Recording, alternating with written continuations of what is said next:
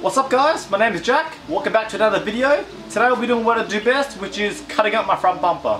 So the idea behind this modification will be to paint this entire bottom section of the front bumper all black and hopefully it will look like this photo right here which was produced by my brother also known as Visualization Tin on Instagram.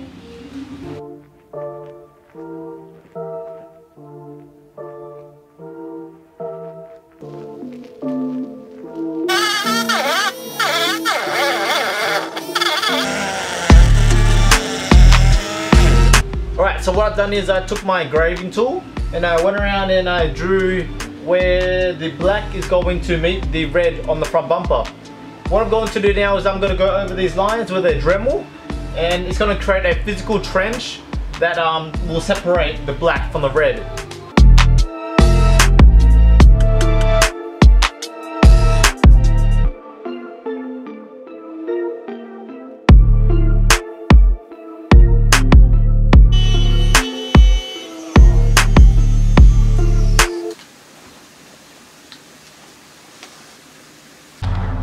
Alright, I ran to my first issue. So as you can see here, when I was dremeling, the fiberglass was too thin and I created a hole. What I'm gonna do now is just take off the bumper and reinforce these holes with fiberglass from behind.